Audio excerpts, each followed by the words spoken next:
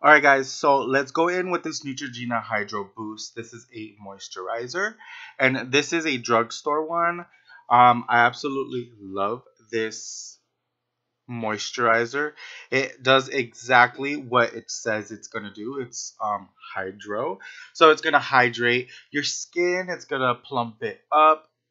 Give it that moisture it needs. So you guys, it absolutely does the work. And I really like it because it's not greasy. Then we're going to be going in with the L'Oreal Miracle Blur. This is a dupe for the Benefit Professional. Um, this one I think is about like $13. Um, and the Professional is $30. So it's like half the price. You guys, I honestly believe that this is a dupe for that Benefit Professional. I'm not lying to you. Go ahead and try it. Now, this is the Wet n Wild foundation. I wanted to keep this, you know, like a first impressions drugstore makeup tutorial as much as I can. But I really love that this applicator has like a little thing, like a little spatula. And this one is in the color Desert Beige.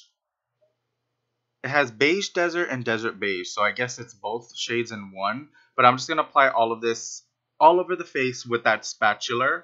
And then go in with our Real Techniques sponge. Like I said, I try to keep a drugstore. You guys can find this at Target or Walmart. I absolutely love this blender sponge. Um, it is a dupe for the actual Real Beauty Blender. And the smell of this is not good, guys. This smells like if you're opening a fresh can of paint, you know, like if you buy like at Walmart or Home Depot.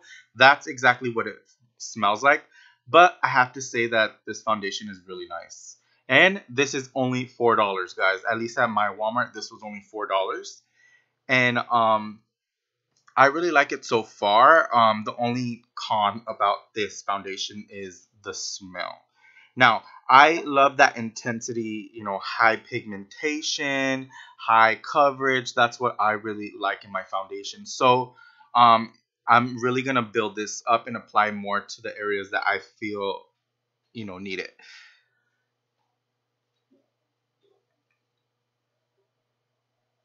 So which is on my cheeks. That's where I need the more coverage. I absolutely love that this thing has a little spatula at the end.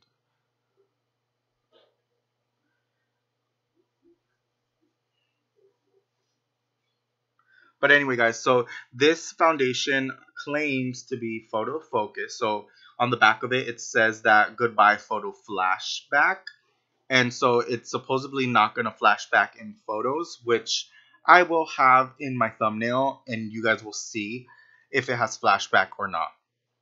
Now we're going to be taking this Milani concealer. This is one of the new ones. This one is in medium light medium and i'm going to be highlighting all the key points that i usually highlight. Um, i don't like that dome applicator. Um, i don't know i just don't like it. But now i'm going to be taking my Real Technique sponge and blending this out. Now, at first, guys, I absolutely loved this concealer at first. And um, once it started oxidizing, guys, like, I don't know if you guys can see it on camera, but once it started oxidizing, and started getting, like, really yellow. Super yellow. Like, not good yellow. Mm-hmm. Mm, but you guys, like in person, it looked a lot worse. Um, these lights and all that that I have on my face, uh, you guys can't probably see it that bad, but you guys, it was really bad in person. And um, with this Milani concealer, um, the issue, the only issue that I had with it, with it was the the color of it. It was super yellow, like it, like I know it's supposed to brighten and do all of that, but it was just super yellow, like really yellow. It looked literally like I just put yellow on my face. I did not like this concealer at all, guys. And the only thing about it was that it was not patchy, but once it, it like clinged on to the dry patches on my forehead, that's where I noticed it a lot. I'm just going to be adding a little bit more of that foundation around all of the highlight points because it was very hard to blend those edges and it was very noticeable where my con my um foundation and my highlight met. So that's what I did not want. I wanted more of a seamless blend. So you guys, that was a no-no for me. The concealer, I'm sorry, but no. Now I'm gonna be going in with my Maybelline 01 Light. Um, this one is more of a neutral neutral color. Um, it's gonna counteract against the yellow because I don't want the yellow to be popping out so much. So I'm just using this concealer to, you know, try to correct that yellowness because it's too yellow. You see, and right as I blended that Maybelline concealer over the Milani one, it actually blended a lot better and even the color under my eyes looks a lot better, guys.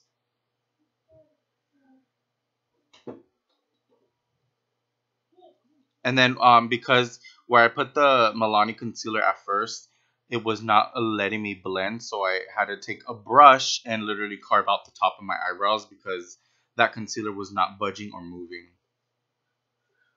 So at this point in the video, I'm feeling so much better about that concealer. but now I'm going to be baking with, um, this one is the Maybelline Prep Set and Go, I think. Oh, no, no. This one is the Maybelline New Master Fix by Face Studio. This is a loose perfecting loose powder. Um, this one is in translucent. It's like the only color that they have. Um, this was my first time testing this one out. And um, I'm just using it to bake underneath my eyes because it is a white powder. And I was afraid that I was going to get flashback or I was afraid, um, you know, that it will leave like a white canvas under my uh, under my eyes where I put that concealer. So I did not want to try it, but for the purpose of this video, that's why I'm trying it and hopefully hoping for the best.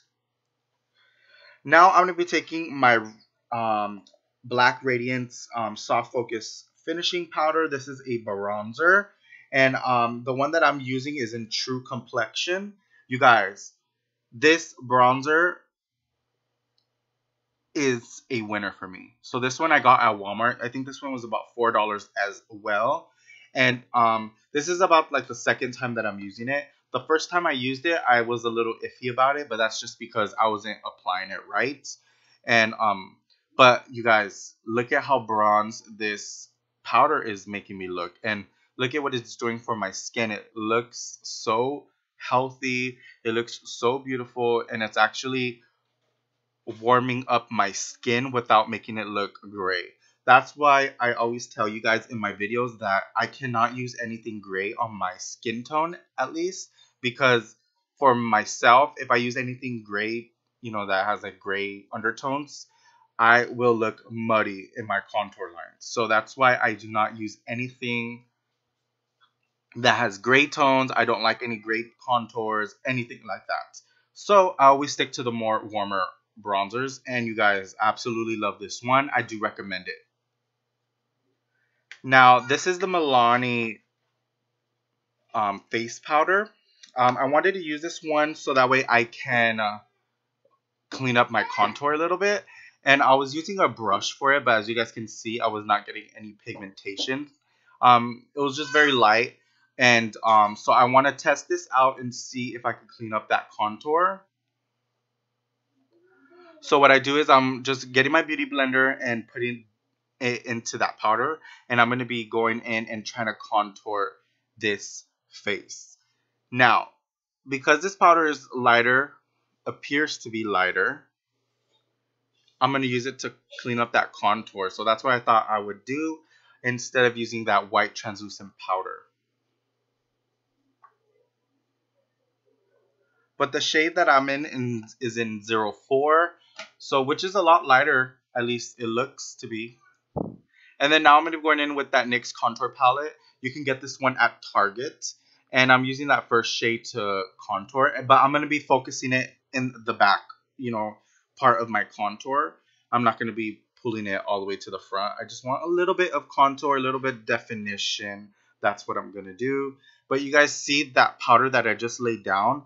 Um, yeah, it does not look good. It actually oxidized like crazy, guys.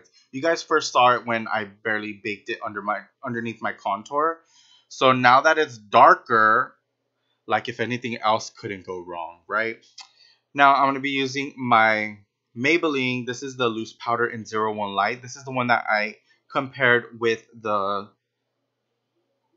translucent powder from Laura Mercier. And you guys, this is my ride or die powder, but I'm trying to clean up that contour now because like a dumbass, I put this Milani face powder that was actually too dark, but it just oxidized, which I wish I would have known. But anyway, so I still feel like in person that I could see that yellow, that yellowish kind of color peeking through. So I'm going in with the NYX HD banana powder and I'm putting that underneath my eyes. Um, I was hoping that I can put this under my eyes and later on let it um, just sit and cook for a little bit and then wipe it all away so that way it counteracts from that yellowness. And um, so I'm just using a um, Makeup Shack brush just to do that.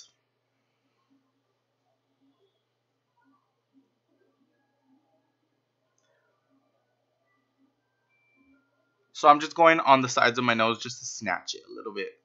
Now I'm going to be taking the Milani Face Glow Powder. This is the new one. And you guys look. What the fuck is that? Tell me what is that? This is too settle. And y'all know. Y'all, y'all know me, right? You know I don't go for settle. I thought this was going to be a high beaming, you know, they're raving about it, saying that oh my god, it's amazing. But anyway, so let's blend out that um clean contour line. And you guys, you guys, can we talk? Can we talk? Look at that line. Are you serious? Are you freaking serious? So now let's blend out underneath our eyes. It's a little too bright for me, but you know, what the hell. This is what happens when you try new makeup, right?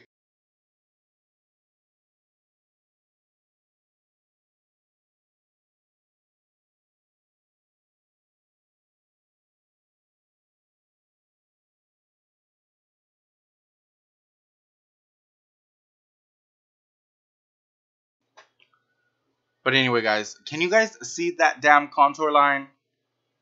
Get it together. Anyway, now this highlighter, guys, I was expecting so much more from it. But look, can you guys see anything? Nope. That's because it don't work. You guys, well, it works. It's just, it's too settled for me. You guys already know I'm not no basic ass bitch. So, I don't like this highlighter. Sorry, I don't need it. Anyway, this concealer was a no. This highlighters were a no. I got both shades. It was in shade the second shade and the third shade, which were a no. Now, let's go on to this makeup setting spray. Nope, um, I'll stick to my Mario Badescu. Um, face powder, hell no. It oxidized too much, too much, and it clinged to my dry patch. Foundation was amazing, guys. Alright, guys. Thank you guys so much for watching this try on makeup with me. Um, some products worked for me, some didn't. Anyway, follow me on my social media, and I'll see you guys in my next video. Love you.